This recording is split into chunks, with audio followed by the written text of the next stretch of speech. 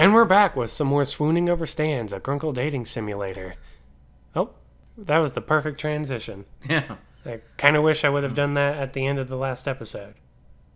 But no matter. Just Uh. as you finish speaking, Stan pulls off to the side of the road and the engine dies. As you step out of the car, the unearthly silence of the woods envelops the two of you. Out in the woods ahead, you see a single bright light. Is this the place? Ah, just about. You follow him back towards the truck, which he o- trunk, which he opens quietly and slowly, frowning as it squeaks. Squeaky, squeaky. That's the that's the only squeaking sound effect I'm going to use from now on in got it. anything I make. I'm just going to let you know. That sounds good to me. What are we doing here? What are we doing here? Uh, well, uh, you might not guess it looking at me, but I got a, I got a, a thing. I, I don't like the way you're saying that, Stan. It's not a thing like Drake, is it? Because Travis was just telling me about that. The two of you stare at each other for a moment, and he looks at you a little nervous. I guess we know where, we know where Dipper gets it from. you sweating? Why are you sweating, Uncle Stan? I got a thing for art. Oh, what kind of art? Uh. Oh, is that all? That's pretty cool. Right? Yeah, that sounds pretty reasonable. Yeah, that sounds pretty reasonable because we're like, like, really, I do too. It's like, that's like like mirroring too mirroring too hard, it's like, oh, it's being a little weird. Like, being a little weird, Really, yeah. you Yeah. really. but being supportive is, I think, the right way to go. He brightened, smiling in the dim haze of the trunk light, and it was the right way to go. Yep. Good detective skills. Mm. Minors in psychology, where Yeah. it's at. Yeah. Well, let's jump up the hill. Here as one by this artist, uh, Gustav Klouening. Wait, wait a moment. Gustav Cl- Clown Klouening? It- it- Gustav Klouening. Snuck it from right out under me at an auction. Gosh, Grunkle Stan's voice is like the worst. I've been trying to buy it off him for years, but the jerk won't sell no matter how much I offer him. And trust me, you meet this guy, and you know it's out of spite. So we're stealing it? What are you talking about? You got it, kid. Uh, well, you did try to buy it first. Or frankly, I'm surprised you haven't done this sooner. Hmm. well, you did try to buy it first. Exactly. Stan laughs quietly, fishing around in the duffel bag for you don't know what. Wait till you sell it. Wait till you Steal it. steal it. Steal it. There we go. Wait till you see it. It's a, it's a masterpiece. I've been waiting six months for him to go go out of town. How do you know this man's schedule, Grunkle? Here, take these. Okay.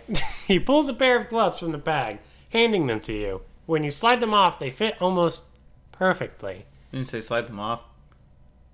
You can slide them on. Yeah.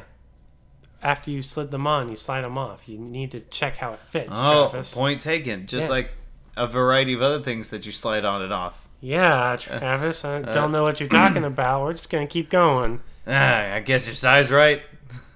uh, You see, my quirk or semblance or stan or whatever kind of power manifestation you want to call it is to always guess people's hand measurements correctly. what are you talking about? That's just really smart. You nod, wiggling your fingers. Wiggle, wiggle, wiggle, wiggle, wiggle, wiggle, wiggle.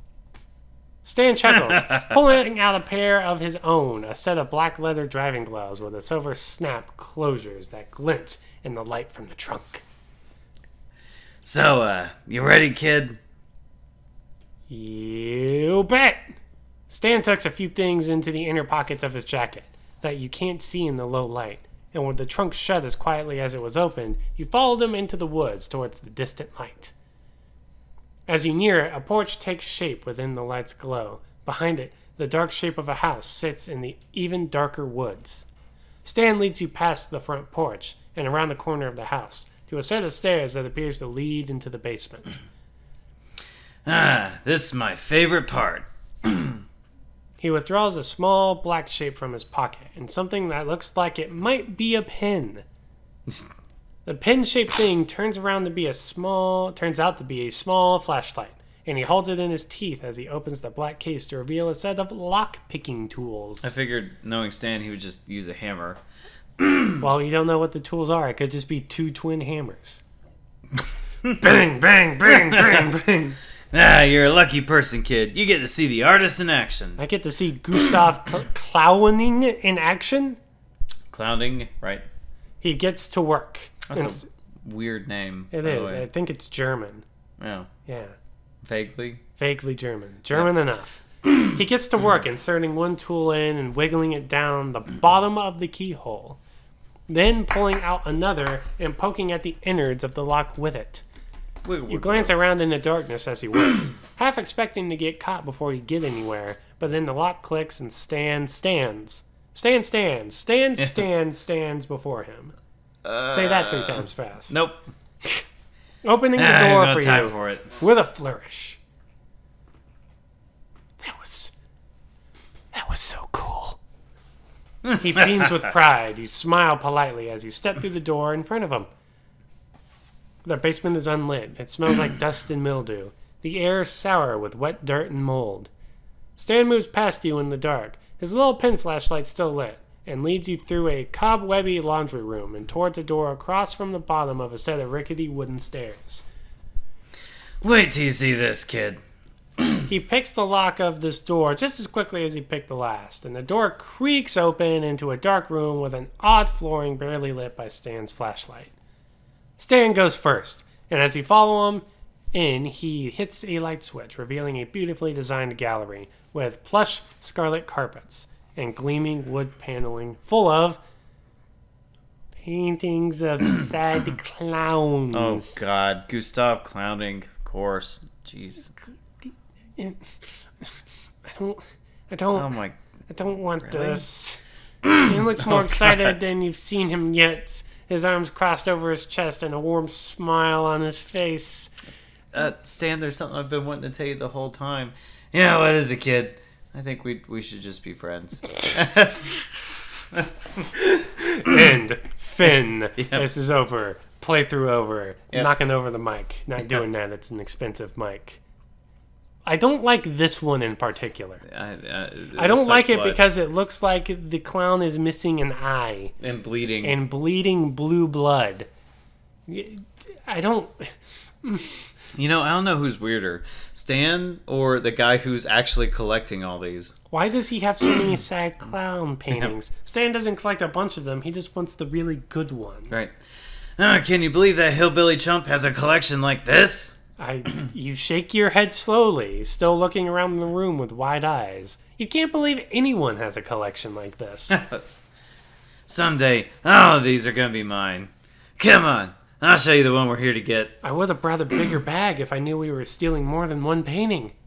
Right. You follow him to the back of the room, and he stops in front of a large painting of a clown with bright red lips and blue circles on his cheeks, his eyes outlined in black, with comically large eyelashes painted onto his eyelids. His neck roof droops sadly, and his costume is dingy and worn. So, uh, what'd you think? Mm, mm. Mirror? I'm thinking mirror. well, let's mirror this, because, you know, it's beautiful to him, so it's not like we're lying. Right. Wait, you really like this kind of thing? No kidding?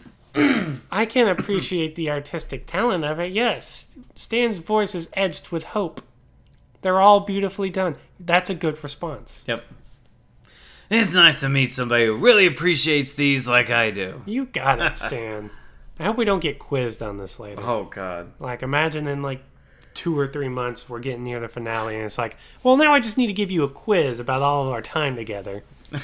It's like, do you do you like clown paintings? And we're like, oh God, no, get us out of here. Ah, gross. Yeah. it's it's excellent, especially as a piece of art. Yes. Well, why not? This is a masterpiece. The way the artist has captured his pain, the way the framing makes him look small and pitiful, even though he takes up most of the canvas.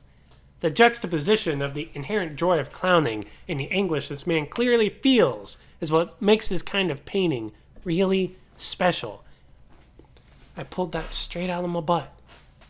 As planned. Well, uh, let's get this thing off the wall and out of here.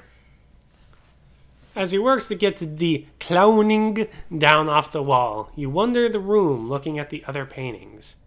As you look over a portrait of a mime with dirt on his white and black striped shirt, you're suddenly grabbed by your shoulders. Boo! You scream, I shut in fear as you throw a weak karate chop at the source of the noise, eh, making unimpressive contact with something solid and muscular.